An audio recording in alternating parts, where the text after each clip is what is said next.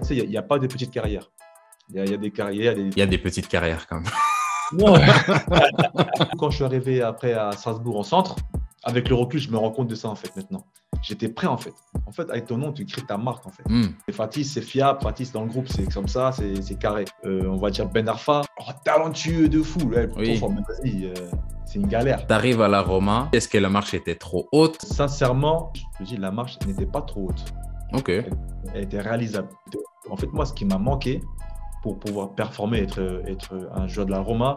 Salut l'équipe, très heureux de vous retrouver pour le 27e épisode du podcast. Et aujourd'hui, on accueille Ricardo Fati. Ceux qui sont abonnés sur Insta le savent déjà, mais j'ai récemment reçu un colis Puma avec ce magnifique survêt et cette sublime paire de Ultra. J'essaie de pas surcharger le contenu avec des publicités inutiles, mais le fait est que on prend du galon. Et ça, ça serait pas possible sans vous. Donc pour la énième fois, j'espère que vous en avez pas marre de m'entendre dire ça, mais c'est pas la dernière fois pour le coup. Merci, merci, merci, merci, merci du fond du cœur l'équipe. Et merci à la team Puma pour le gear. J'aime trop. Donc aujourd'hui, on est avec Ricardo Fati, un joueur avec une longue carrière, avec plus de 15 ans au niveau professionnel, où il a connu des grandes institutions comme l'INF Clairefontaine, l'AS Romal, Bayer Leverkusen, la sélection sénégalaise, bref, un gros parcours. Aujourd'hui, à l'aube de la fin de sa carrière, il joue en National 2 et il revient avec nous sur les leçons qu'il a apprises, honnêtement et en toute simplicité. Bienvenue au cœur du jeu.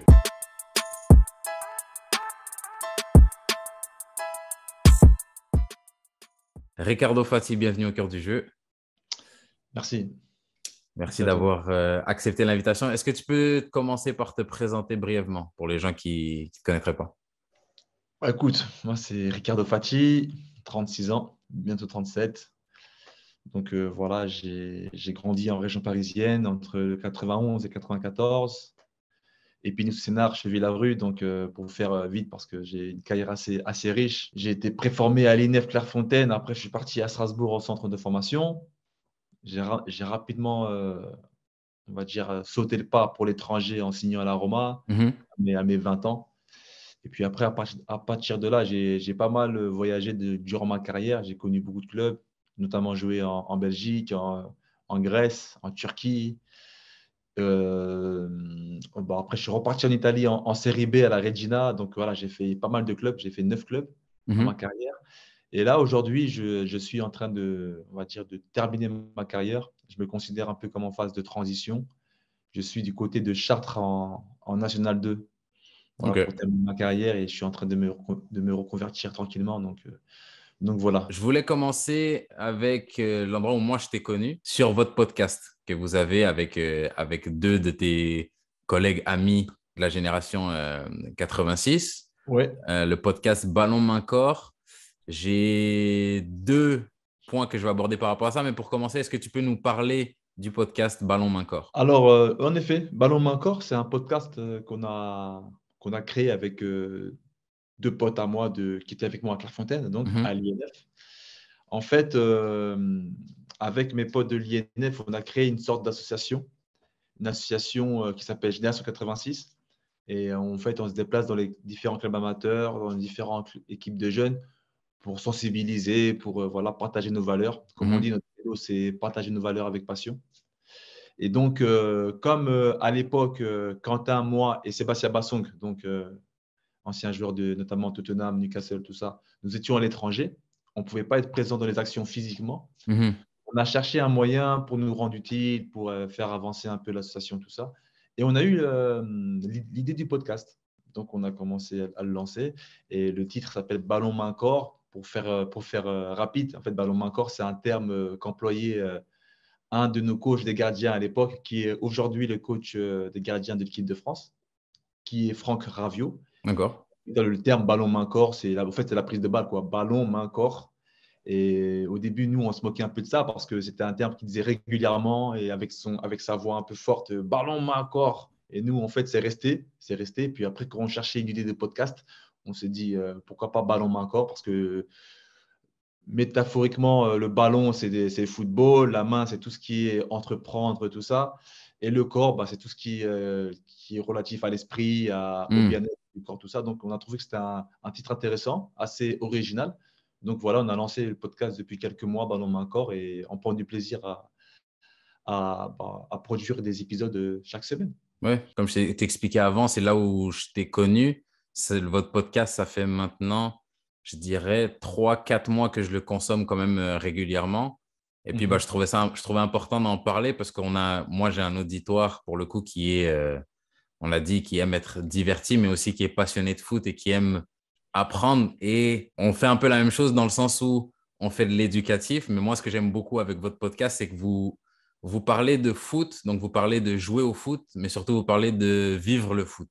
Et moi, c'est ce qui m'intéresse le, c'est ce qui m'intéresse le plus parce que dans ma, ma, ma, ma, petite carrière, ce que je trouve le plus important, c'est la personne que je deviens au travers de cette carrière-là.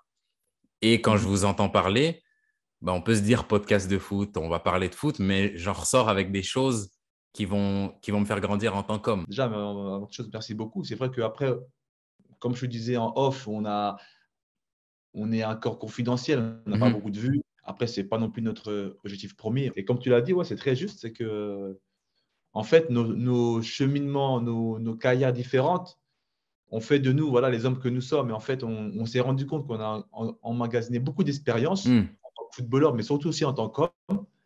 Et puis voilà, donc je pense que c'est important et c'est sympa aussi de, le partager avec, avec, les, avec les, les, gens qui vivent, qui vivent le foot, comme tu le dis. Il y a beaucoup de jeunes ou beaucoup de joueurs qui disent, euh, qui, qui, qui, vivent des choses, mais qui pensent être les seuls, les seuls à le vivre.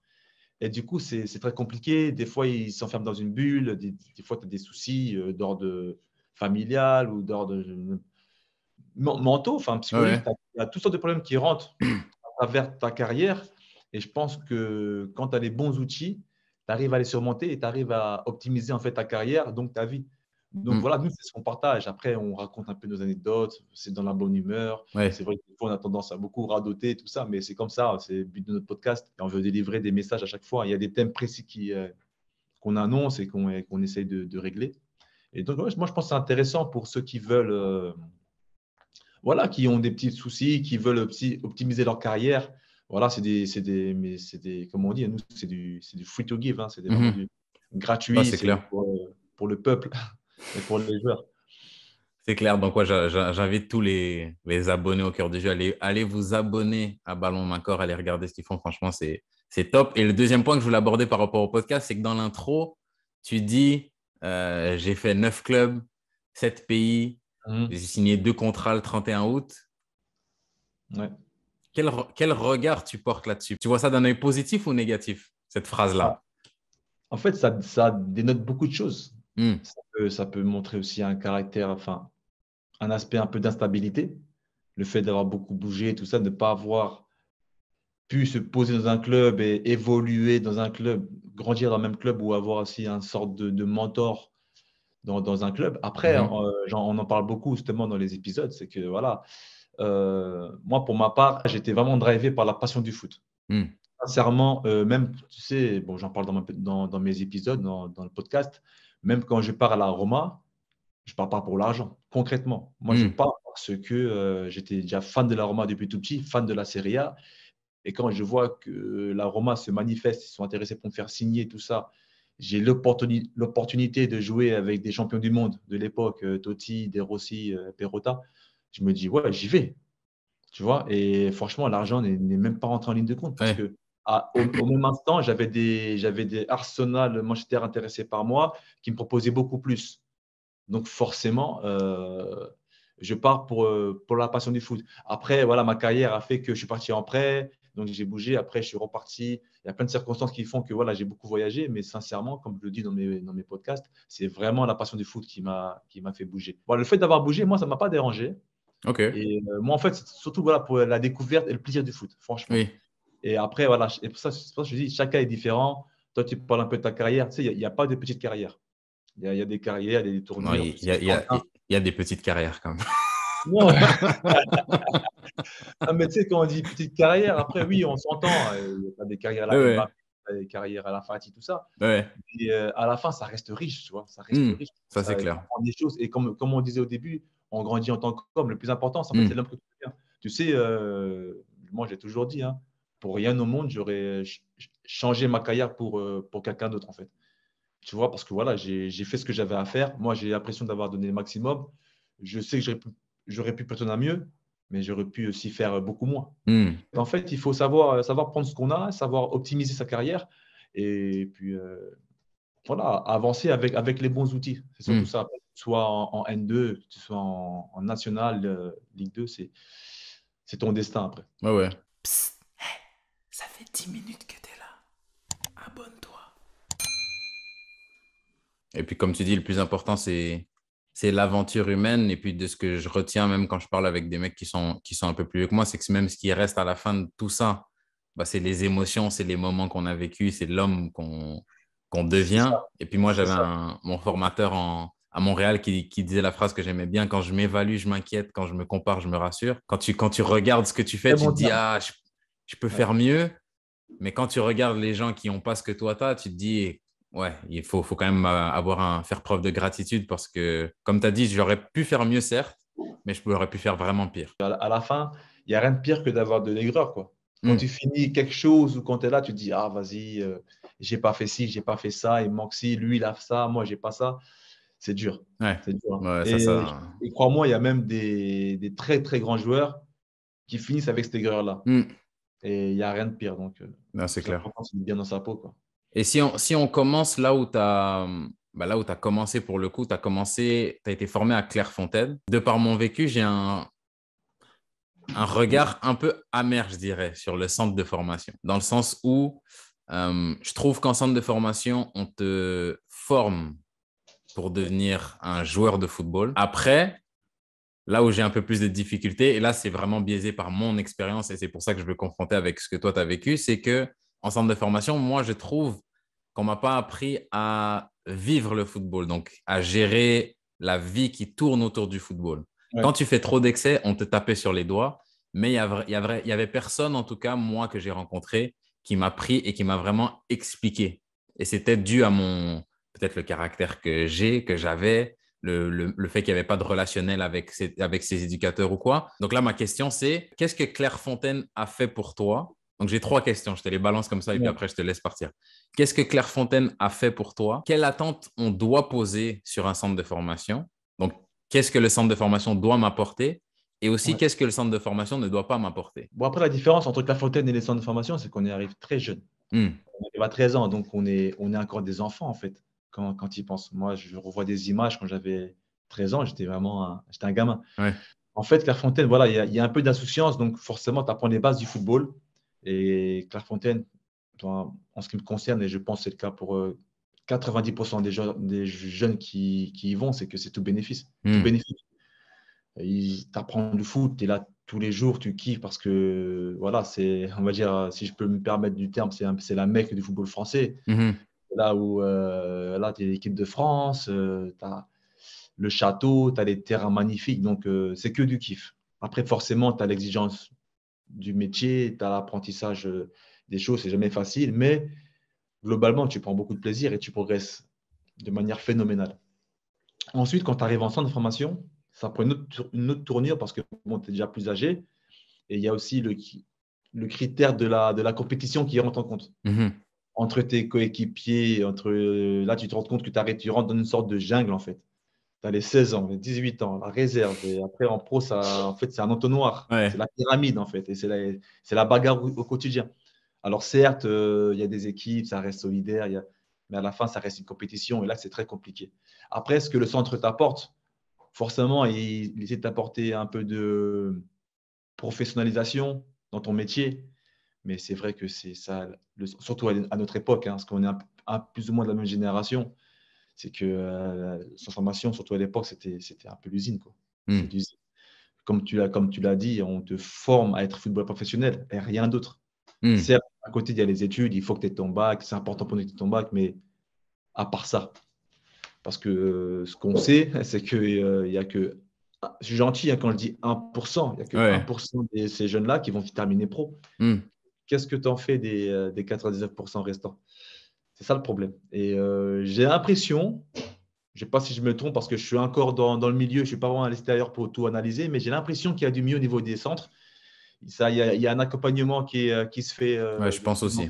J'ai vu récemment que, justement, à Crystal Palace, en Angleterre, ils ont créé une structure pour les, pour les jeunes qui n'arrivaient pas à sortir pro. Donc, il y avait hmm. toute une réorganisation pour réorienter ces jeunes-là qui ont, bah, qui ont failli hein, dans leur but d'être joueurs professionnels. Uh-huh. Ils n'ont pas failli en tant qu'hommes. Donc, il faut continuer à les suivre, il faut continuer à, les orienter dans la vie active, en fait. Hmm. Et euh, c'est ce qui manque, en fait, dans les centres de formation. Après, j'entends bien les gens qui disent Ouais, mais nous, on n'est pas non plus euh, un centre social, on est un centre de formation de football. Nous, on forme des footballeurs. Mais quand même, vous avez des jeunes sous votre responsabilité pendant 2, 3, 4, 5 ans par moment. Donc forcément, il faut les accompagner pour, pour d'autres choses. c'est clair. C'est super important. Pour répondre à ta question concrètement, ce qu'apporte cette formation, bah, c'est l'apprentissage du métier du footballeur. C'est, ça t'apporte une rigueur, ça t'apporte aussi un sérieux, parce que moi, je pense que quand j'étais en centre, j'étais très sérieux, très, mhm. très concentré, très prêt à travailler. Et ce qui ce qui ne nous apporte pas, bah, c'est ce suivi, en fait. Ce suivi en tant qu'homme. Et en fait, tu dois te réinventer tout seul, en fait. Et c'est, des fois, c'est compliqué. Quand tu as des rêves et que tu vois que tu échoues à ton rêve, c'est pour, un, pour certains, ça va, mais pour d'autres, c'est très, très dur. Non, c'est clair. Et surtout, dépendamment aussi de, du, du suivi que tu as à la maison, moi, c'est un, un truc qui, qui, me tient particulièrement à cœur parce que je, sais qu'il y a beaucoup de parents.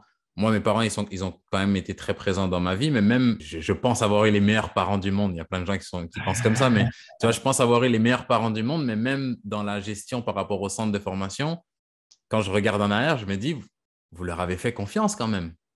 Ils ont quand même lâché prise. Ils se sont dit, bah, tu es en centre, donc tu es bien entouré. Et quand je regarde en arrière, je me dis, mais ces gens-là, ils étaient là. John le footballeur les intéressait, mais John l'être humain, ah non. C'est exactement ça. Et tu avais, avais, avais, John le footballeur, mais à côté, tu avais, euh, je sais pas, avais Pierre le footballeur, ouais, exactement. le footballeur, tu avais le footballeur. Donc, tu n'étais pas tous. Étais, tu étais seul, dans, tu étais seul, en fait, tu es livré à toi-même, mais si ce n'était pas toi, en fait, c'était un autre. Exactement. Attention, laisse porter sur un autre, selon tes qualités, selon ce que tu pouvais leur apporter. Donc forcément, ça fait du mal. Et quand tu arrives à, comprendre ça, ça fait encore plus mal. Oui, ouais, puis, puis après, j'ai quelques gens un peu plus âgés qui écoutent aussi le podcast, et puis c'est un peu la conclusion à laquelle j'arrive, c'est en attendant que les clubs bah, se mettent à la hauteur de ça, bah, il y a aussi les parents l'éducation d'un enfant, ça s'arrête, euh, ça s'arrête pas à 19, 20, 21. Moi, j'ai 28 aujourd'hui, j'ai un petit garçon maintenant, donc je suis, je suis père de famille, je rentre dans cette, dans cette vie-là. Mais je regarde encore à 22 ans, je me dis, mais j'étais stupide. Je pense que dans 7 ans, je vais me dire encore à 28 ans, j'étais stupide aussi. Donc, c'est pour dire que ouais, y a, ce suivi-là, il, il, doit, il, doit continuer, il doit continuer longtemps, en fait. Après, ça, c'est plus euh, relatif à, à l'entourage. Parce mmh que forcément, quand tu es majeur, surtout quand tu es jeune footballeur, voilà, tu, tu prends un peu d'indépendance. Il n'y a plus les parents, donc tu as ton appartement, tu as ta voiture, tu as tes matchs, tu es, dans ton, es dans ton game en fait. Et après, c'est là que l'entourage doit être. Euh, l'entourage est primordial hein, et doit être de qualité. comme je disais au début, de te driver pour, euh, pour optimiser ta carrière, pour, euh, pour que tu sois bien en fait. Hmm. C'est super important parce que combien, combien de jeunes aussi ça, c'est même la seconde étape. Combien de jeunes arrivent justement à devenir pro, à percer, mais n'arrivent pas à durer. En fait. Donc voilà, ça génère de la frustration, ça génère de l'aigreur. En fait, c'est tout ça. En fait. Et c'est en fait, c'est tout, tout, ça dont on parle dans notre, notre podcast. Hmm. Et aussi ce qu'on euh, ce qu'on met en avant avec notre, notre association, hein, avec la Génération 86. Quand on se déplace dans les clubs, euh, surtout quand on voit des jeunes euh, qui avaient notre âge à l'époque de Clairefontaine, entre 13 et 16 ans, je pense que c'est important de leur mettre les, bonnes graines en fait, dans, dans le cerveau pour qu'ils puissent euh, grandir, évoluer de manière saine. En fait. Et on parle aussi aux parents. On parle aussi aux parents, éducateurs, c'est important parce que aujourd'hui, je pense que plus que jamais, les parents, ils ont un rôle euh, des fois qui peut être hmm. très néfaste pour les enfants. Dès que ah, dès qu'ils voient leur enfant faire un crochet, bah, nous on a enfin on a la chance, mais on a aussi la, la malchance. En fait, on, a un mal de notre bonheur en France d'avoir d'avoir un phénomène comme, euh, comme Kylian Mbappé. Parce que Kylian, c'est un phénomène générationnel, mais on a l'impression que c'est facile parce que c'est un petit bondi, il a grandi comme nous tous, il est là. Et en fait, on, maintenant, du coup, bah, les parents, ils se disent Ah, mon fils, c'était prochain Mbappé. Project Mbappé. Ah, le, de toute façon, tout ce projet-là. Mais non, non, c'est pas comme ça. Ça se passe pas comme ça. Et quand, même si on leur dit que 1% de ces jeunes-là auront pas, pas une carrière Mbappé, mais un semblant d'Mbappé. Hmm. On se dit pourquoi pas moi? Pourquoi ça serait pas moi le 1%, c'est ça C'est moi le 1%, c'est mon fils, c'est mon fils en fait. C'est ça le pire, c'est mon fils. Non, le, toi, le parent, tu es là pour tempérer, tu es là pour amener, le, comme tu disais, l'éducation. Tu es là voilà, pour, euh, pour ton fils, pour l'accompagner. Mais quand c'est lui qui tire littéralement son fils. Ouais, là, ça devient un problème. Et si on arrive, tu vois, tu parlais de, de gens qui percent. Et une fois que tu as percé, donc une fois que tu arrives par exemple au premier contrat pro, il y a soit tu dures, soit tu euh, redescends, soit ça le fait, soit ça le fait pas. Toi, tu arrives à, Strasbourg. Qu'est-ce qui fait que Ricardo Fati de Strasbourg réussit et qu'est-ce qui fait même qu'il arrive à, réussir à un point tel qu'il signe à l'AS Roma? Bah, Moi, comme je te disais, moi j'ai eu la chance d'être allé à Clairefontaine. Et en fait, moi à Clairefontaine, j'ai compris très vite qu'avec que moi, en tout cas, en tant que tel, je devais avoir de la rigueur, de la régularité et du sérieux si je voulais réussir. Hmm. Je n'étais pas un talentueux comme, euh, comme Atem Ben Arfa, par exemple, ou Abu Dhabi. Hmm. Moi, je savais que je devais travailler, être rigoureux si je voulais être professionnel. Je n'avais pas le choix. Et, ça, je l'ai vite, euh, je vite intégré dans, dans, mon esprit, dans mon comportement, dans mon quotidien. Et du coup, quand je suis arrivé après à Strasbourg en centre, j'étais avec le recul, je me rends compte de ça en fait maintenant. J'étais prêt en fait. Moi, je me rappelle quand on était surtout à Strasbourg au centre, on est en hiver, il fait froid, c'est compliqué, on va s'entraîner, on est pieds gelés. Ben, moi, j'y allais. Le, lundi, quand fallait, après le match, quand il fallait faire le décrassage, le décrassage, les gars, qui, qui veut y aller? Moi, j'y allais. Hmm. Mon pote était avec moi à Clairefontaine, on n'est pas, qui était aussi très bon, pas forcément le même mindset. Ah non, non, non, dis-leur que je suis malade. Ok, moi j'y vais. On est dans la même chambre. Dis-leur, je suis je suis malade. Ok, pas de souci, j'y vais. Entraînement. Ou alors euh, le vendredi soir, vraie soirée sur Strasbourg, mais il y a match le samedi. Hmm. Et on y va. Non, non, non, on a match demain. Vas-y, moi j'y vais, t'inquiète. Il y allait. Mais tu sais, c'est pas pourtant qu'il était moins bon que moi après. Mais tout ça, c'est tu rentres dans un engrenage où justement tu n'optimises pas. Et tout se voit et tout se sait aussi. Ouais. Donc, forcément, à la fin, tu tires du bénéfice, des récompenses de, ton travail. C'est pour ça hmm. que mon travail paye. C'est euh, pour moi, c'est clair. Le travail paye toujours, mais quand tu fais un travail sérieux, authentique. Et moi, j'avais un, j'avais un plan dans ma tête. C'était, moi, c'est professionnel. Et pour être pro, c'est ça. Ça, ça, faut que je le fasse. C'est pas, euh, je me lève le matin, je vais avec les pros. Non, le travail, le travail. Et du jour, enfin, pas le jour demain, mais à un moment donné, quand il fallait envoyer trois jeunes du centre en pro pour faire nos positions ou pour compléter l'effectif parce qu'il y avait des blessés, bah, on appelait qui? On appelait Fatih, on appelait Et j'étais toujours dans les trois, quatre qui partaient avec les pros. Hmm. Et après, de fil en aiguille, bah, une carrière commence comme ça. Après, des, blessures en pro, l'équipe qui tourne mal, donc forcément en Coupe de France ou en Coupe d'Europe, ça fait tourner, donc on fait jouer les jeunes parce qu'il faut préserver les pros pour la Ligue 1. Et ma carrière a, commencé comme ça. et puis là, même ce que, ce que tu dis, ça me fait penser à un, à un épisode que vous avez fait il y a, comme c'est sur YouTube, je scroll, il n'est pas loin, mais je ne sais pas de, combien de temps il date où vous parliez du, du, poids du nom. Et euh, bah, vous parliez justement du fait que le, le, y a, je suis le fils de Zidane, donc il y a le poids du nom Zidane sur le maillot, mais il y a aussi quand tu es jeune pro ou jeune joueur tout simplement et que tu construis ta carrière, bah, ton nom, il faut qu'il commence à inspirer quelque chose. Et là, par exemple, tu parles, et c'est quelque chose même que j'avais oublié sur mon parcours, mais c'est vrai que Dinkota, John Dinkota, en centre, a fini par être associé à irrégularité, pas fiable. Ah, et, ça, c'est quelque chose que je. Ben, là, tu l'as dit euh, parce que justement, c'était l'inverse avec toi où, bah, à force de travailler et d'être régulier, bah, quand on pense à Ricardo Fati, on se dit celui-là, si on l'envoie avec les pros, on sait qu'on peut compter sur lui. Il ne va, il va pas nous la mettre à l'envers. Peut-être qu'il sera moins bon un jour qu'un autre. Ça, c'est le foot. Mais on sait qu'il va donner son maximum et qu'il va être. Il y a un sérieux qui Voilà, il y a un sérieux qui vient avec. C'est ça. En fait, avec ton nom, tu crées ta marque. En fait, hmm. en fait tu es ta propre marque. C'est ça, ça on, en parlait par rapport à ton nom. Parce que c'est toujours comme ça. Quand on, on, sort ton nom, il y a toujours deux trois, deux, trois mots, deux, trois termes qui sortent. Moi, c'est pour ça que je pense que j'ai une carrière assez longue, même si en substance, elle n'avait pas été grosse parce que je n'ai pas fait des gros clubs, hormis la Roma au début, les Verkusen. J'ai fait une carrière longue, j'ai toujours trouvé des clubs, enfin, j'ai toujours été actif parce que quand on dit Ah, Fatih, ah non, Fatih, vas-y, fonce. Ouais. Fatih, c'est OK, c'est pas le plus fort, le plus truc, mais Fatih, c'est fiable. Fatih, c'est dans le groupe, c'est comme ça, c'est carré. Euh, on va dire Ben Arfa, oh, talentueux de fou. Là, oui. vas-y, euh, c'est une galère. Voilà dire, donc, c'est ça. En fait, tu crées ta marque de par, ton, euh, de par ce que tu représentes, de par ce que tu es, de, de, de, par ce que tu mets en avant. En fait. Faut, et moi, ça a été aussi mon souci. Euh, après, dans ma carrière, dans ma suite, j'ai trop voulu, j'ai trop voulu imiter les autres. Non. Les gens, ils t'apprécient à, valeur. À quel endroit, par exemple, tu as essayé de trop imiter les autres? Quand j'étais à la Roma, j'arrivais à la Roma, et en plus, euh, tu connais, à mon poste, les milieux de terrain, c'était des calibres. C'était des Rossi, hmm. c'était Pizarro. C'est à l'époque un Chilien qui était petite taille, qui était super fort, et Perota. Et du coup, moi, je me dis, bah, moi, si je dois jouer dans cette équipe-là, bah, je dois jouer comme des Rossi, en fait. Tu sais, je dois faire des transversales du pied gauche de 50 mètres, des frappes de 40 mètres. En fait, je devais dénaturer mon jeu. Alors, moi, en fait, Ricardo Facci, on m'avait pris parce que voilà, j'étais quelqu'un fort dans l'impact, qui savait jouer au foot euh, malgré ma taille et tout ça, qui pouvait apporter des choses, qui avait du volume de jeu. Et moi, je faisais pas son contraire, mais je faisais une chose qui n'était pas moi, en fait. Hmm. Et forcément, bah, je n'étais pas performant. Et moi, dans ma tête, je me disais, vas-y, pourquoi lui, il arrive à faire ça? Moi, je n'arrive pas à faire ça. Lui, il arrive à dribbler deux joueurs euh, dans un petit périmètre, moi, je n'arrive pas.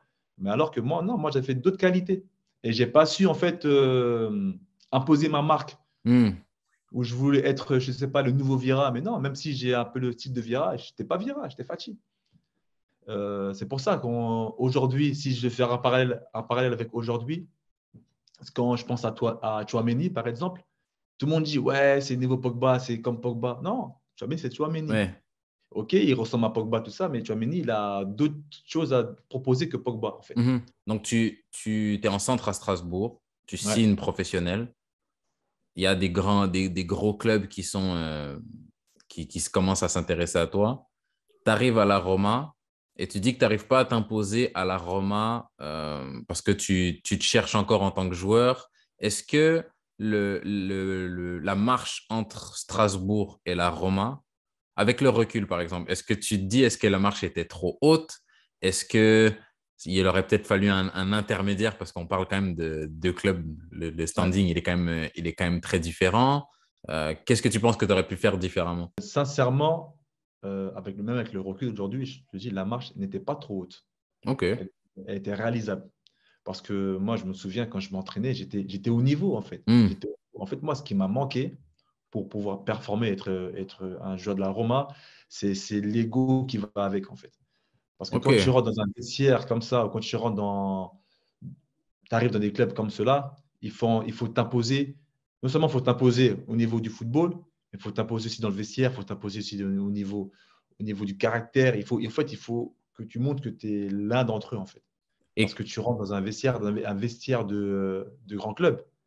Attention, c'est la jungle aussi. Hein. C'est hmm. une autre sorte de jungle, mais c'est la jungle des égaux. Est-ce que tu as un exemple, par exemple, pour le rendre concret? Parce que c'est quelque chose que, on va dire, je comprends intellectuellement, mais comme je ne l'ai pas vécu, j'arrive pas à m'imaginer un, un, scénario où, par exemple, je me dis, la personne qui n'a pas d'ego, bah là, elle perd des points, versus la personne qui a un, qui a un ego, là, ah, elle réussit à s'imposer, elle, elle, bénéficie de ça.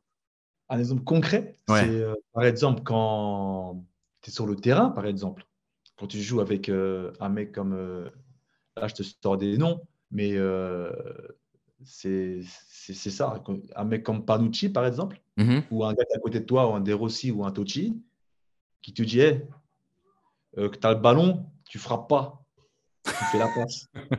tu vois, tu fais la passe. Et en fait, c'est quand on, commence à te dire comment jouer ou on commence à te, à te dire quoi faire, on va pas t'imposer. C'est ça l'ego en fait. Ok. C'est quand tu as, as, la balle, tu veux, tu, veux, tu veux faire ton jeu, mais quand on t'empêche de le faire, mais toi, tu acceptes. Moi, en fait, c'était ça, c'était que je voulais pas trop en faire.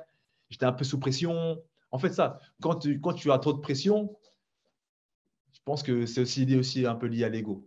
Ok. Tu vois? Parce que voilà, moi, je voulais pas trop me mettre en avant. J'étais le petit jeune, tout ça. Dans le vestiaire, je ne voulais pas prendre trop de place. Je ne voulais pas trop parler. Ok, il y a une différence entre être réservé et, euh, et pas avoir trop d'ego. Hmm. Un mec N'Golo Kanté, par exemple, parce que direct, je pense que les gens vont dire, mais N'Golo Kanté, il est tranquille, mais il joue à Chelsea. N'Golo Kanté, je pense que dans le, dans le vestiaire, il est tranquille, il fait ce qu'il a à faire. Mais sur le terrain, tu vois comme il joue. Sur le terrain, ce n'est pas le N'Golo qu'on voit à l'extérieur. Il a, il, il a une personnalité incroyable. En fait, c'est de savoir dégager cette personnalité. Après, il y, a une différence entre ego et personnalité. Je pense qu'il faut avoir une grosse personnalité. Ok.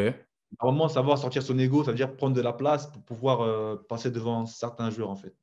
Et euh, il y a beaucoup de jeux comme ça dans les grands vestiaires. D'accord. Tu vois la différence entre ceux qui se jouent dans les grands clubs et ceux qui ne jouent pas dans les grands clubs, même s'ils sont, ils sont plus forts que ça. Par exemple, un mec comme Aubameyang a toujours réussi à jouer dans les grands clubs. Parce que je pense qu'il lui ici, je pense qu'il a quand même un certain ego. Ouais. C'est un, un très bon joueur. hein. Mais moi, je connais des, des- des attaquants qui sont, enfin, que je pense meilleurs que lui. Oui, oui. Non, en, soi, c'est vrai que le, on va dire son aura, son personnage, il fait, aura, il son fait grand joueur, il grand dégage, il- Voilà. Il apporte même dans un vestiaire, ce Mm. qu'il apporte dans une équipe. C'est super important et c'est pour ça que quand il quitte Barcelone, il repart à Chelsea. Ouais. Parce que ils se disent Ah non, il nous faut un Aubameyang quand même malgré tout. Pas parce que c'est parce qu'il est fort, c'est parce que voilà, c'est une bonne opportunité. Mais aussi, il apporte un truc dans le vestiaire. C'est un capitaine dans l'âme, Ouais. un égo, attaquant. Ça rassure par moment. Et des fois, on ne veut pas de personnes effacées. Un mec qui ne va pas t'apporter. Parce que Des fois, on veut des gens qui apportent aussi en dehors du football. Et du coup, bah, moi, c'est ce que j'ai manqué peut-être à la Roma. C'est ce que j'ai voulu acquérir en partant après à Leverkusen ou à Nantes. Euh, mais ma nature a fait que j'étais pas. Peut-être que j'étais pas, avec le recul, je me dis peut-être que j'étais pas taillé pour les grands clubs. Hmm. Quand on parle de foot, je pense qu'il y a des. Il y a, comme deux extrêmes. Des fois, on parle de joueurs et puis on va euh, grossir un peu l'impact que leur aura a. Et de l'autre côté, bah, il y a des gens qui vont dire bah, l'aura, ça n'existe pas. Quand tu es un joueur de foot, tu as deux pieds et deux jambes. Tout ce qui est intangible, comme les, les Américains disent les, les intangibles, tout ce qui est intangible, ça n'existe pas. Quand tu, quand tu joues avec un, un joueur, par exemple, comme, euh, comme Totti, Totti, c'est la somme de ses qualités, Ouais. mais à la fin de l'équation, il y a quelque chose qui se rajoute en plus. Quand, Ah, c'est, quand tu vois le Totti, Bien sûr. 10, Brassard, Roma. Mais bien sûr, même, même la manière, c'est c'est palpable. Ceux qui sont dans les sports, ils savent. Hmm. Même dans tous les sports, même au basket. Les gens, ils savent quand, quand il y a la star qui manque, l'équipe adverse, ça joue différemment. Hmm. Il y a une part d'aura, t'es fou. Quand, quand Zlatan il, il joue au PSG, l'équipe adverse, elle joue. Même, même aujourd'hui, quand tu vois Mbappé, il, est- il, il joue pas, dans le- il n'est pas dans le 11, pourtant c'est les mêmes 11. Ouais. Il n'est pas là. Ok, même s'il est très fort techniquement, il, apporte des buts, tout ça, mais même l'équipe adverse, elle se comporte différemment. Un Laura, c'est super important. C'est pour ça, ça, ça- et ça se développe aussi. hein. Tu sais, ça, se développe, ça se travaille, ça se développe. Comment, comment tu penses?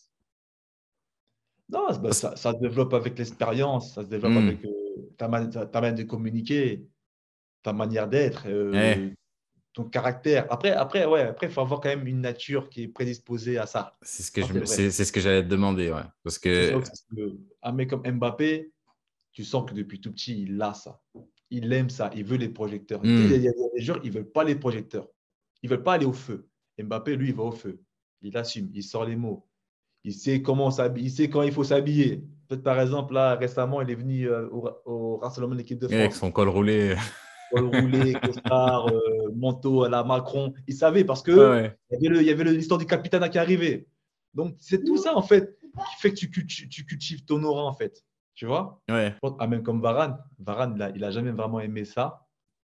Et c'est ce qui fait qu'aujourd'hui, à, à 29-30 ans, il s'est dit, bon, bah, le temps est venu. Après, bon, il y a aussi un, côté physique qui rentre en compte. Mais ouais. Il s'est dit, bon, bah, il est temps pour moi de, De raccrocher. de la euh, place, de me raccrocher ouais. tranquillement, de faire ma carrière à Manchester tranquille. Mais il a fait une grosse carrière parce que sur ses qualités intrinsèques. Mais il, il aurait pu encore faire beaucoup plus, Oui. je pense.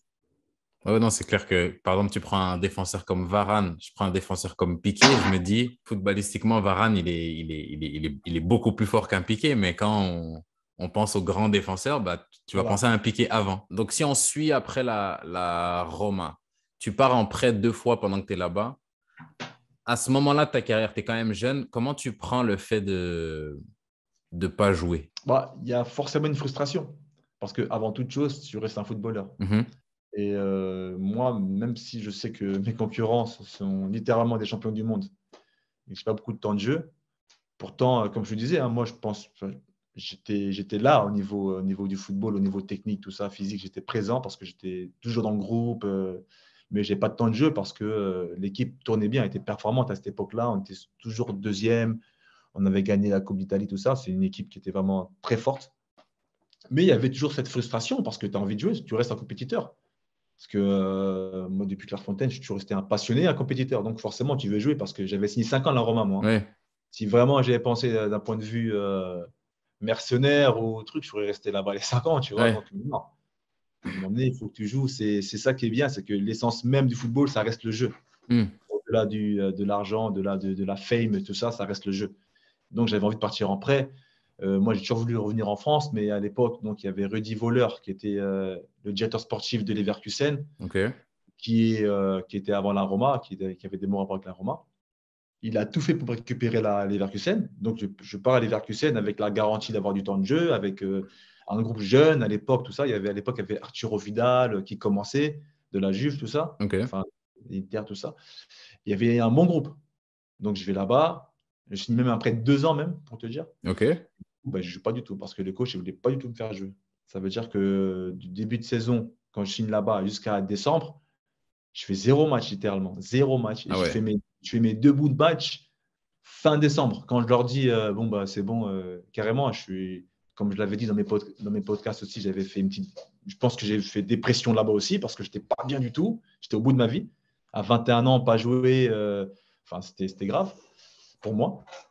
Et puis, donc, j'arrive à un moment, décembre, je me dis, bon, je pars. Ils me font jouer mes deux derniers matchs en décembre, mais bon, le, le choix était, était déjà fait.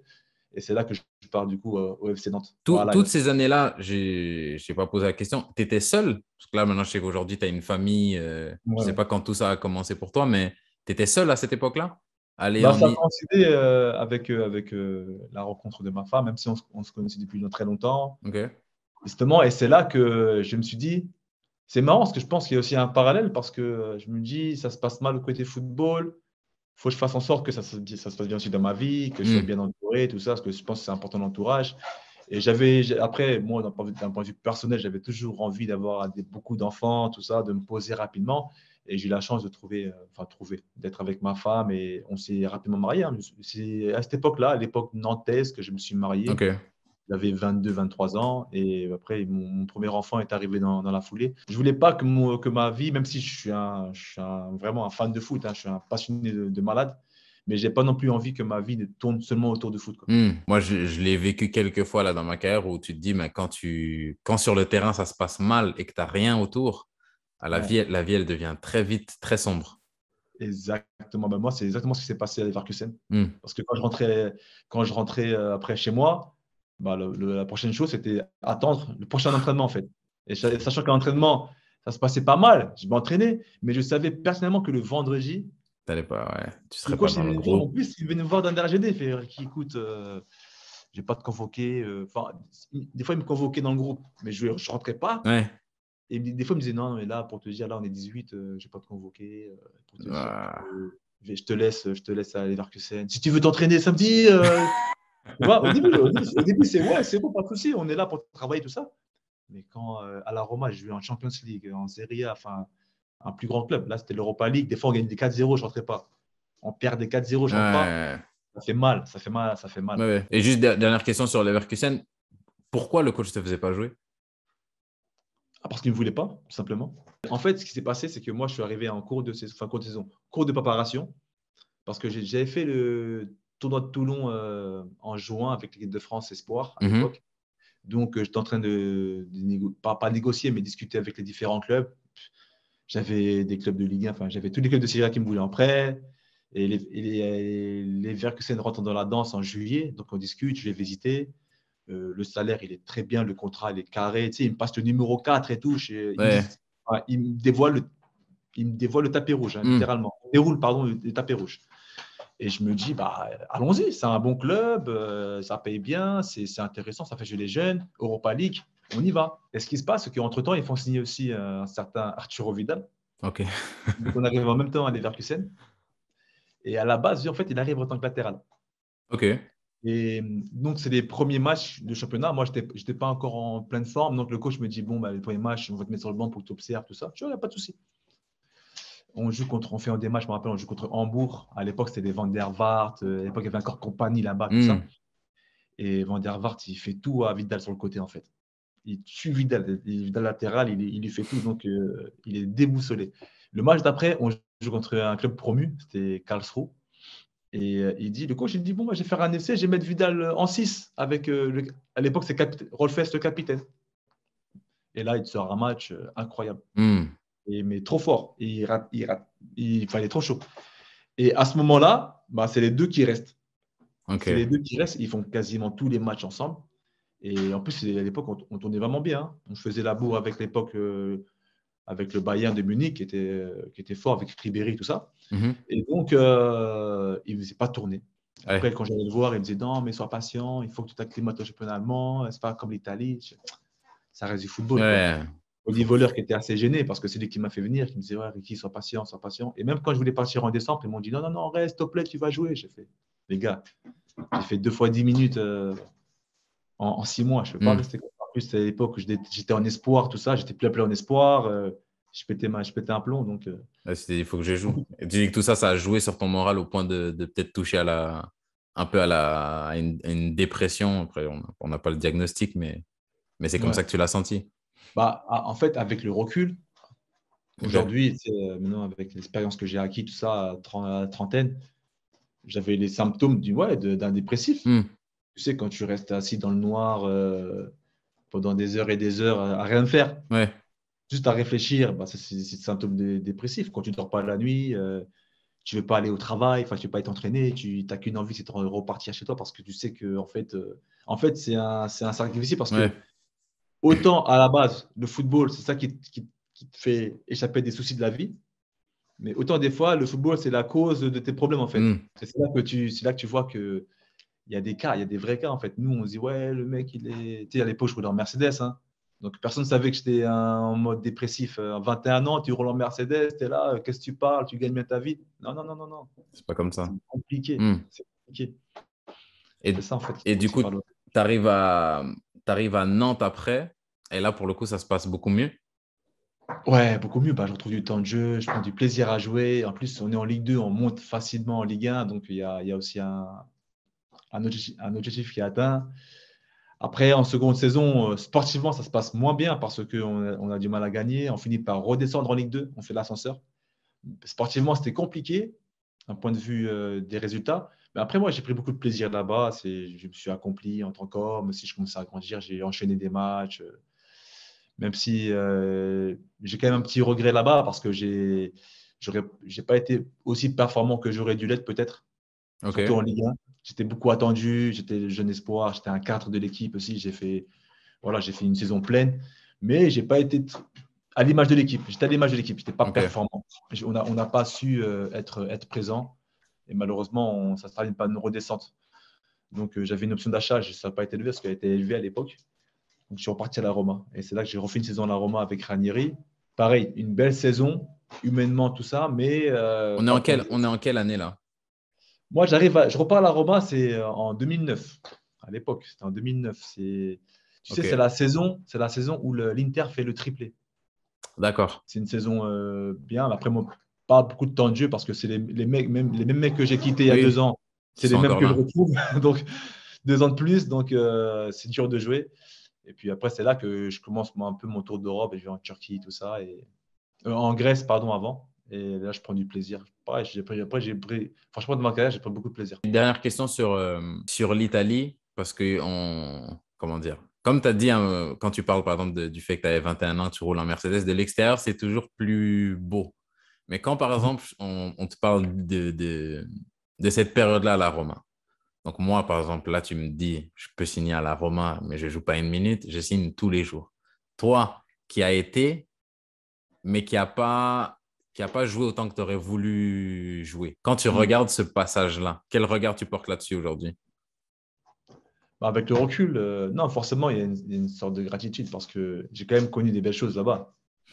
J'ai gagné mon seul trophée de ma carrière, la, Coupe euh, non, après, oui. Après, moi, je n'aime pas vivre avec des regrets parce que sinon, comme je te dis depuis le début, on refait, on, refait tout. Je me si j'avais su, j'aurais, signé là. Ah, si j'avais su, j'aurais fait autre chose. Non, moi, je suis fier de ce que j'ai accompli. Euh, bien sûr, j'aurais préféré jouer plus régulièrement, tout ça, mais ça ne s'est pas pu faire pour les raisons qu'on a évoquées déjà avant. Mais non, non, non, moi, je suis. Il n'y a aucun regret. Hein. Moi, moi, franchement, comme je te dis, hein, je ne changerai rien de ma carrière. Hmm. Même si, non, même si tu peux partir à Arsenal, tout ça. Non, non, je ne change rien parce que aujourd'hui, à 36 ans, euh, je suis vraiment, franchement, je suis vraiment content de l'homme que je suis devenu, tu vois, sans hmm. être prétentieux, sans, avec, sans, euh, sans être, paraître trop, euh, tu vois, arrogant, tout ça, mais je suis vraiment fier de l'homme que je suis devenu. Je suis quelqu'un de stable. Euh, j'ai fait ce que j'avais à faire, marié. Moi, j'ai, pour, pour ta cousine, j'ai quatre enfants. Euh, je, suis, je suis bien, en fait. Tu vois, je suis bien. Pas des regrets particulières. Forcément, on a toujours un peu de regrets, des choses qu'on aurait pu mieux faire ou dû mieux faire. Mais ce n'est pas l'histoire de la Roma, parce que la Roma, j'ai quand même plein de choses. Euh, en plus, comme je disais au début, moi, je suis un fan de la Roma, moi, depuis tout petit. Hein. Je, suis un, vrai romanista, donc c'était une fierté d'avoir porté ces couleurs malgré tout. Et, et voilà, non, non, il n'y a pas de, a pas de regret ni d'amertume particulière. mon regret, si j'ai un regret, sincèrement, c'est le comble, c'est de ne pas avoir euh, persévéré à, à Leverkusen. Ok. Euh, j'avais signé un prêt de deux ans, six mois. C'est vrai que je n'avais pas joué, donc il y avait tout pour quitter. Mais peut-être que si j'avais cette voix ou cette personne à côté me dirait, c'est quoi eh, Lâche pas. Il y, a un, il y, a moyen que tu puisses jouer dans cette équipe-là. Et même ça se trouve l'année prochaine. après, le coach, il est parti. Donc un nouveau coach arrive. Ouais, je vois. Fait, prends cette année-là pour travailler, pour prendre du temps. Tu es jeune, tu n'as que 21 ans, vas-y, fais ce que tu as à faire. Et euh, l'année d'après, tu vas, tu, vas, tu, vas, tu vas exploser. Et ensuite de ça, tu bouges un peu. Donc, tu vas en, tu vas en Grèce, tu fais Standard de Liège. Tu me dis si tu m'arrêtes si je dis une bêtise. Après, tu vas en Turquie. Ouais, j'ai fait Ajaccio aussi. entre euh, Ajaccio aussi Ajaccio, ouais. Tous ces mouvements-là, avec mhm. la famille, ça se passe comment? Bah, écoute, moi, j'ai construit ma famille euh, au fil de mes voyages, en fait. Hein. Euh, mon premier fils est né quand j'étais à la Roma, mais il est né en France parce que ma femme voulait accoucher en France. Mais après, tous mes enfants sont nés où est-ce que, où est que j'ai joué. Hein. Moi, j'ai ma deuxième fille, justement, qui est née à Ajaccio, Ok. 2012. Et j'ai mes deux dernières qui sont nées en Turquie. Donc, euh, ça va. Moi, j'ai eu beaucoup de chance d'avoir une femme qui, qui comprenait le métier et tout ça, qui savait. Donc, à chaque fois qu'il fallait voyager, elle était, elle était, elle était prête. Après, elle n'a pas pu s'accomplir aussi personnellement au niveau du, du travail, tout ça, parce qu'il fallait qu'elle me suive. Donc après, elle est venue au foyer, mais il n'y avait pas de souci là-dessus. Donc euh, j'ai eu la chance d'avoir ouais, d'avoir une famille qui, euh, qui me suivait euh, de, par mes, de par mes besoins et de par mes envies. Parce que moi, c'était surtout mes envies. Après, c'est vrai que le fait de. Quand je, quand je suis parti en Turquie, c'est là que j'ai commencé à prendre mes décisions plus familiales. Ok. Par exemple, quand j'étais à Sport en 2015, j'ai fait trois ans là-bas, c'était trois bonnes saisons. J'avais des possibilités de partir euh, dans des pays exotiques ou de partir euh, même dans des clubs, des bons clubs turcs, mais qui n'étaient pas forcément dans des belles villes. Je pouvais, par exemple, gagner plus d'argent dans des clubs, je dis, hein, comme Gaziantep ou des clubs comme ça, ouais. des Rizé Sport, tout ça. Mais je ne voulais pas forcément y aller parce que ce n'était pas l'idéal pour mon fils qui commençait à grandir, pour ma fille qui venait de naître.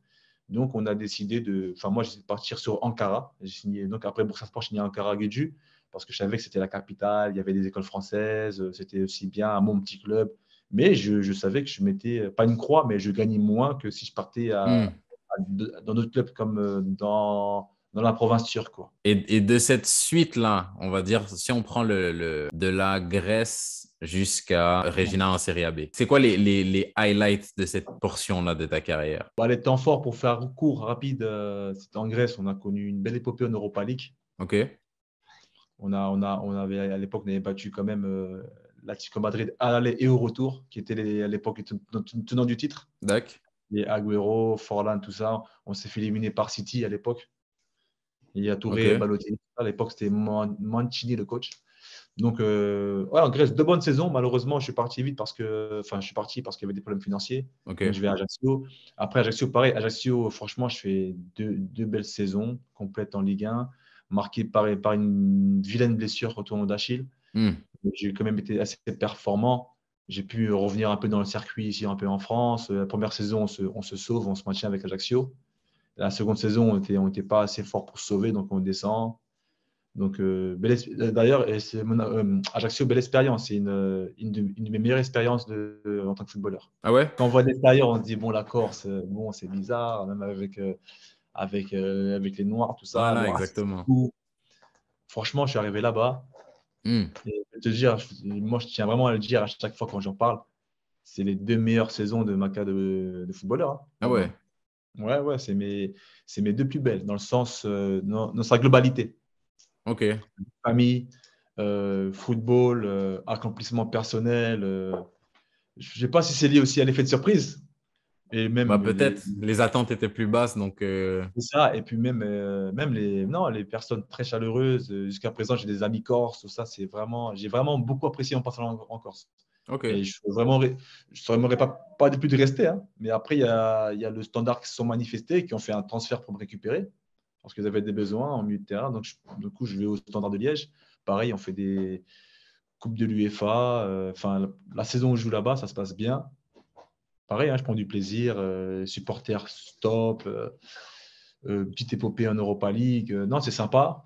Et puis après, bah, je me fais racheter encore par Boursa Sport. Moi, pareil, je voulais rester au standard, mais Boursa Sport avait un besoin aussi, donc ils ont fait un transfert, ils m'ont acheté. Donc le standard était OK pour me vendre, donc je pars en Turquie. C'est là que je commence aussi 5 années en Turquie. Même la Turquie, j'ai beaucoup aimé. C'est c'est une, une, une, patrie, un pays que j'aime énormément. Hmm. J'ai mes deux filles qui sont nées là-bas, mes deux dernières. J'ai même vu une, une, entrevue hier quand je regardais, une entrevue d'après-match où il y a ton fils même qui fait le, traducteur. Voilà, voilà. Ah, c'est un peu pareil. Au début, on arrive avec plein d'interrogations, un nouveau pays, une nouvelle culture. Même si moi, je suis de confession musulmane, mais c'est pas la même culture. Mm. Et euh, finalement, pareil, bah, mes enfants, ils sont super bien adaptés. Mon fils, il s'est adapté euh, comme jamais. Il a commencé à parler le turc et tout à l'école. Euh, mes filles, pareil. Donc, non, on a vraiment beaucoup aussi apprécié notre passage en Turquie. Mais voilà, j'ai pu m'imposer comme un joueur important du championnat. J'ai fait ma centaine de matchs là-bas. C'était bien. Et donc, après le Covid, j'avais une envie aussi de revenir un peu en Europe.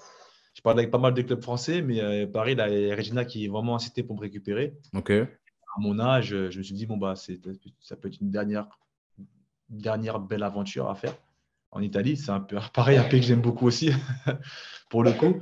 Et voilà, j'ai fait euh, deux saisons là-bas. Malheureusement, j'ai une grosse blessure là-bas, donc j'ai pas pu jouer. Tu t'es fait quoi là-bas? Je me suis déchiré le tonneau de l'adducteur. Aïe. À un match.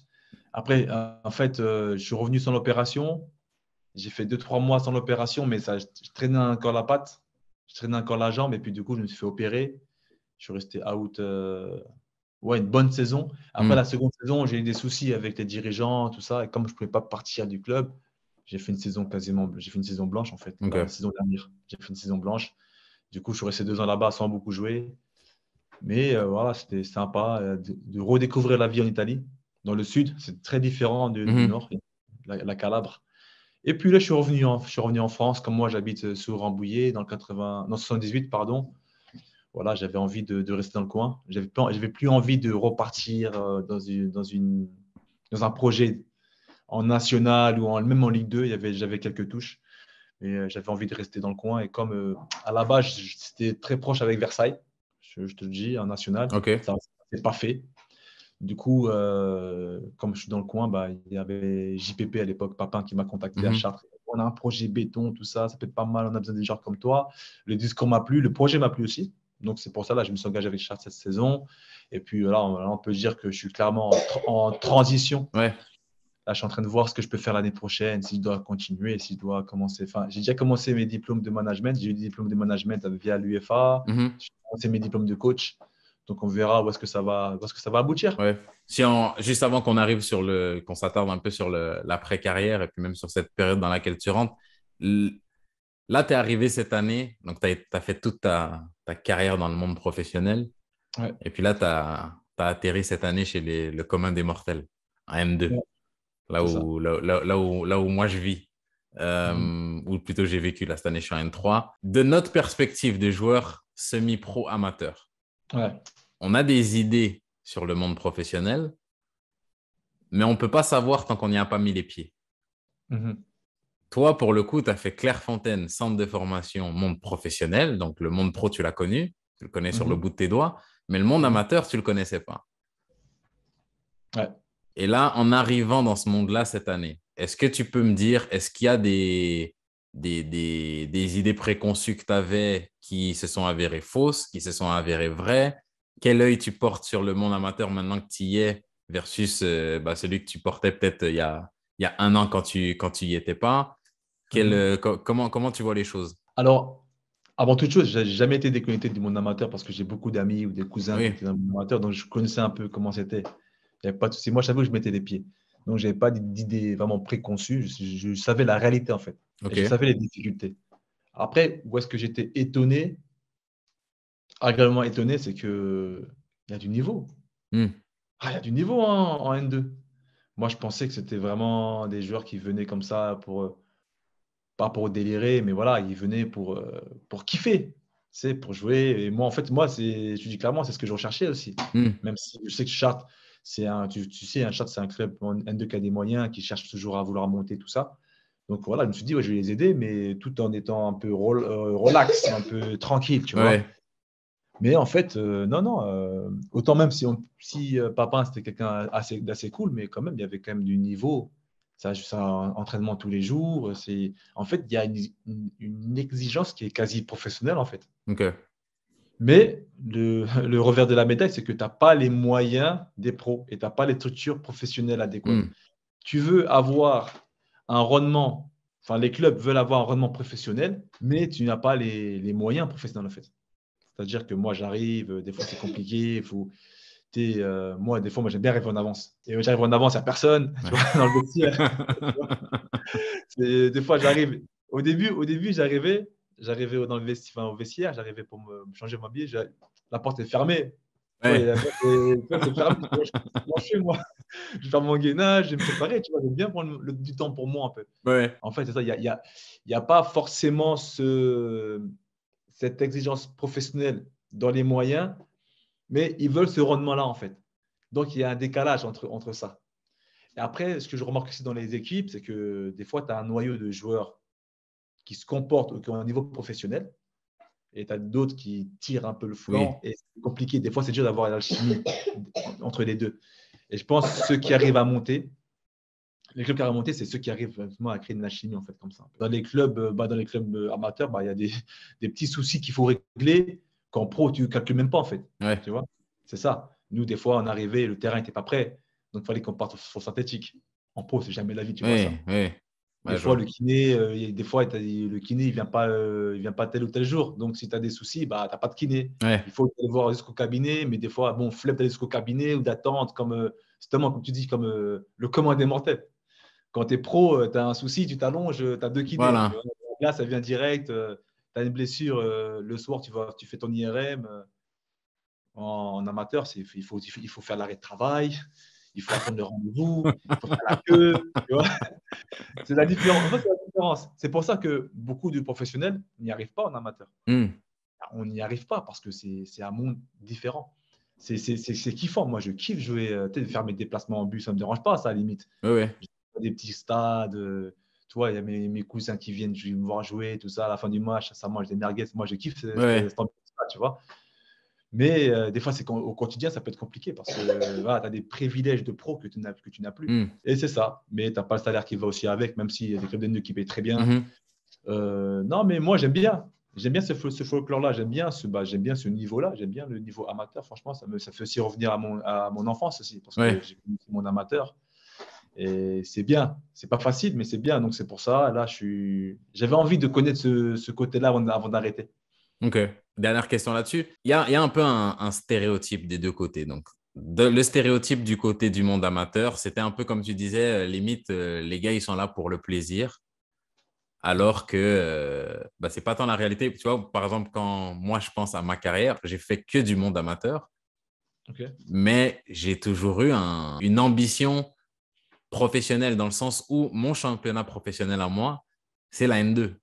Là, maintenant, c'est la N3, dans le sens où bah, je vais, je vais, quand j'arrive dans une ville, bah, j'essaie de.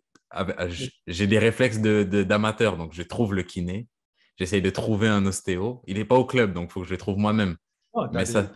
des réflexes de pro, du coup. Exactement, mais dans, dans, dans mon contexte, ah, oui, ça c'est le ça c'est le, le, le, on va dire le stéréotype un peu du monde amateur et du monde professionnel il y a ce stéréotype là aussi où tout le monde est pro ouais est-ce que est-ce que c'est est-ce que c'est le cas? Parce que des fois, par exemple, un, joueur professionnel va parler à un joueur amateur et va lui dire euh, si tu n'es pas pro, c'est que ton investissement il n'était pas assez. Moi, dans mon cas, je sais que si je ne suis pas pro, mon investissement n'était pas assez quand j'étais jeune. Ce qui a manqué, c'est la qualité. Euh, si on, on est franc, mm. c'est ça qui a manqué. Mm. Par contre, je pense que je peux regarder beaucoup de joueurs professionnels et dire j'ai sacrifié autant, si pas plus que toi. Ah oui, totalement. Donc, c'est pour, ça que, c'est pour ça que je voulais te poser la, question. Est-ce que du côté pro, est-ce que c'est pas un peu des fois un mythe aussi de dire euh, dans, tout, tous les joueurs professionnels, à 22h30, ils sont couchés, euh, ils boivent les, les, les, 2 litres et demi d'eau par jour? C'est un mythe. Après, tu sais, il y a, y, a, y a, des pros qui ont des trains de vie d'amateurs et vice-versa. Hmm. Quand on est pro, on voit les amateurs, on a. Il faut dire, faut dire la vérité, on a une vision un peu en hauteur, on regarde un peu de haut parce qu'on se dit, ah, nous, on a réussi, pas lui. Après, c'est pour ça, moi, on resterait humble là-dessus parce que, tu sais, comme je te disais au début, c'est la différence entre une carrière de pro et d'amateur, elle est très fine. Mhm. Tu peux finir en Ligue 1 comme tu finis en national et vice-versa. Il y a même des belles histoires, des, des mecs en national qui finissent en pro. Il n'y a rien qui est figé. C'est pour ça, il faut, il faut toujours avoir cette idée d'optimiser. C'est pour ça que je disais au début, il n'y a pas, y a pas de, petite carrière. Parce que ta carrière, tu peux toujours l'optimiser. Et il y a, y a pas, dans le foot, il n'y a pas de vérité. C'est ça qui est bien aussi. C'est pas un peu comme chez vous, tu sais, au State ou euh, en, Amérique, euh, en Amérique, tu dis, bon, il faut faire un cursus universitaire. Après, tu te fais drafter. Tu vois, c'est mort, tu vas aller en Europe. Non, non, nous, c'est, hey, tu n'es pas à Clairefontaine, c'est pas grave. Hmm. Il y en a que 24 sur 1000. Euh, tu n'es pas en centre, c'est pas grave. Tu joues en N3, hey, tu peux finir en, Ligue 1. Mais c'est vrai qu'il y a un stéréotype qui s'est mis en place. Le pro, c'est forcément celui qui se la raconte, qui a les plus grosses voitures, tout ça, qui est là, euh, mais, après, oui, c'est à juste titre parce que c'est vrai que quand tu es en pro et encore plus quand tu es en centre, tu as tout en fait. Tout est, en fait, tout est à disposition, c'est trop facile. Tu es, un peu l'enfant gâté du football en fait. Après, attention, après, s'il arrive jusqu'à devenir pro, c'est que aussi il a, il a mis des sacrifices, il, mis, il, a, il, a, il a aussi peut-être un talent que l'autre n'a pas. Exact. Parce que voilà, même si à la fin il, a un train de vie qui n'est pas bon, mais il a aussi un talent qui est au-dessus aussi. Mm-hmm. Il sait gérer certaines émotions à un moment donné, dans les étapes clés de sa carrière, il a su répondre présent et pas l'amateur. C'est aussi ça ce qui fait aussi la différence. C'est clair. Mais chacun son chacun. Et puis, comme je te dis, euh, il faut toujours chercher à, optimiser parce que tu n'es jamais condamné. C'est jamais figé. Moi, il y a, par exemple, moi, je vois, il y, avait un petit qui était l'an passé à Châtres, qui s'appelle euh, Emia, je ne sais pas si tu connais Emia ou Hermia, je ne sais plus. Il était à Châtres l'an passé, très bon. Dans N2. Là, il est, à Martigues en, national. Je peux te garantir que lui, il va, il va finir en Ligue 1. Ouais il va finir en Ligue 1, mais clair et net, parce qu'il a le talent, il a tout ce qu'il faut, et j'imagine qu'il est aussi carré dans sa vie. Hmm.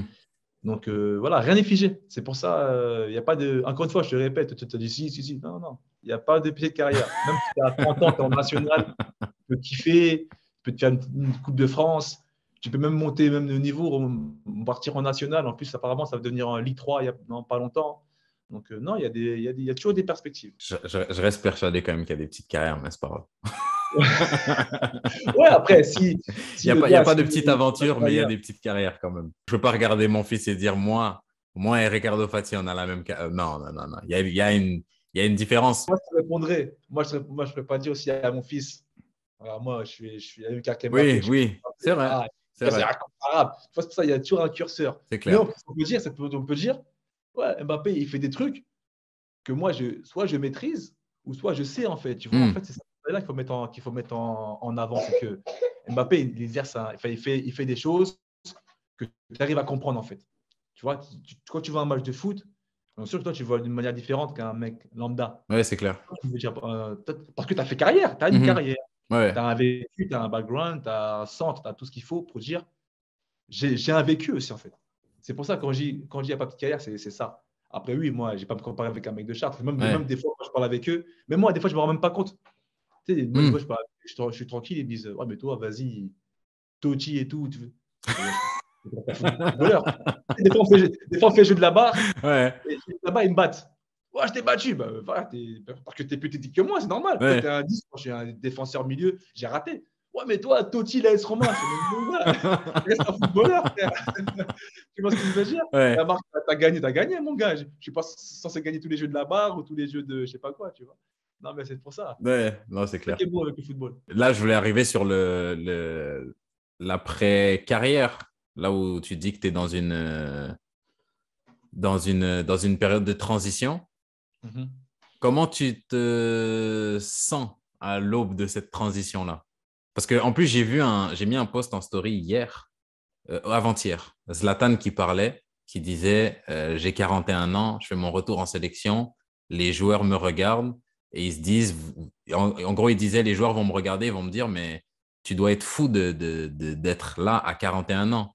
Et Zlatan, qui, dans son, dans son monologue, leur répondrait, quand vous arriverez à mon âge et que vous arrivez à l'aube de votre retraite, mais que vous ne savez pas quoi faire, vous comprendrez l'anxiété qui vient avec ça. Et moi, moi quand j'ai lu ça, j'ai trouvé que Zlatan, des fois, le personnage, j'aime pas les trucs de ouais, je suis un dieu, tout ça, ça me. je trouve ça, je trouve qu'il en fait trop. Mais là, quand il a dit ça, j'ai trouvé ça honnête, j'ai trouvé ça humain et je me suis dit, ça, c'est ma hantise. non, mais c'est réel, frère. C'est réel. Bah, T'imagines même un mec comme Zlatan qui peut avoir ce genre de hmm. questionnement, qui a joué pendant 20, plus de 20 ans, qui, a, qui est très successful dans sa vie, qui a pris de l'argent, mais malgré ça, il arrive à se dire, il a cette crainte de l'après-carrière. Tu vois, cette crainte de la transition. Hmm. Je pense qu'on l'a tous à notre échelle.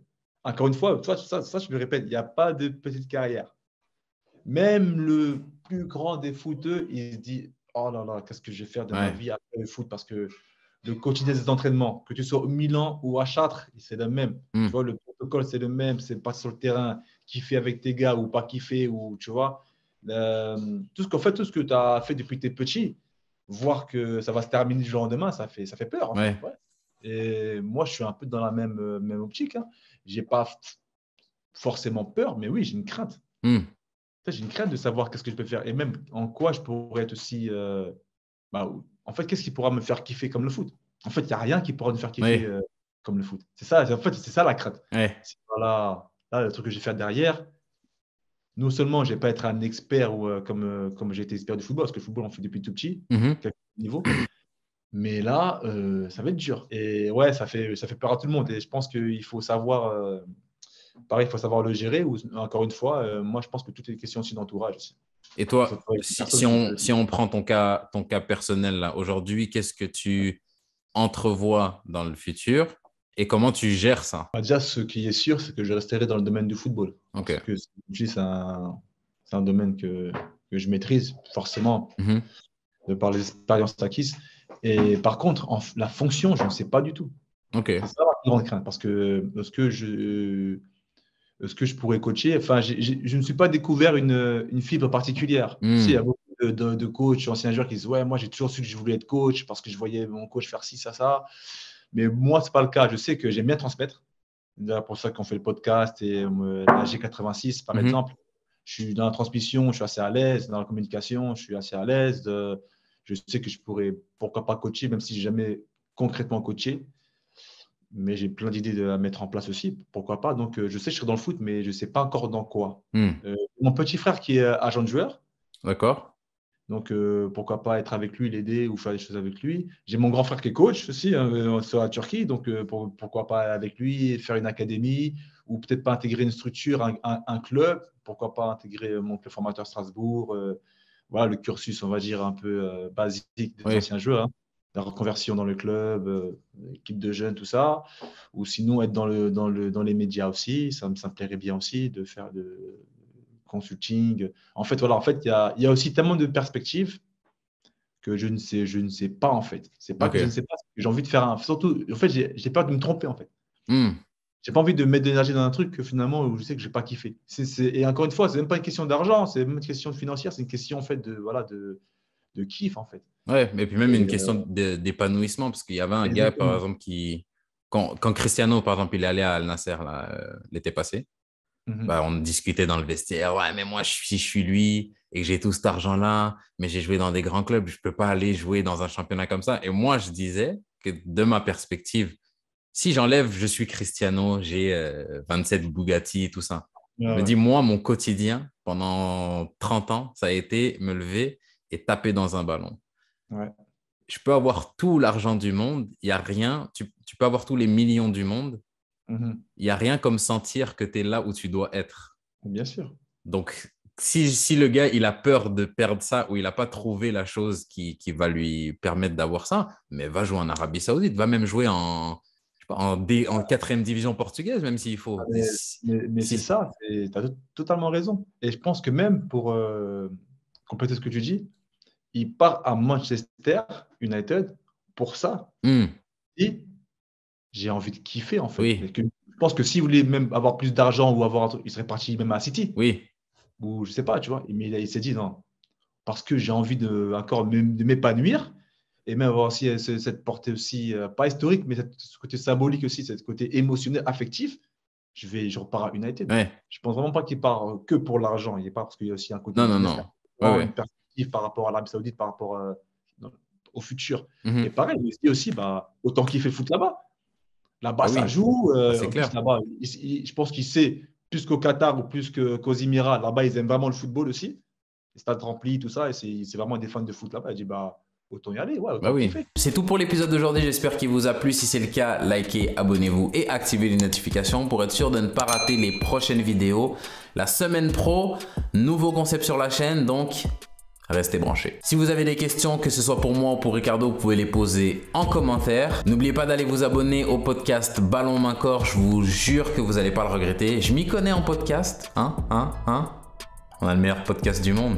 Mais en deuxième position, pas loin, il y a Ballon Main Corps. En attendant la semaine prochaine, je vous invite à me suivre sur Instagram pour des lives, des interactions quotidiennes. Vous pouvez également me suivre sur TikTok pour du contenu exclusif. C'est tout pour moi. Et en attendant la prochaine fois, peace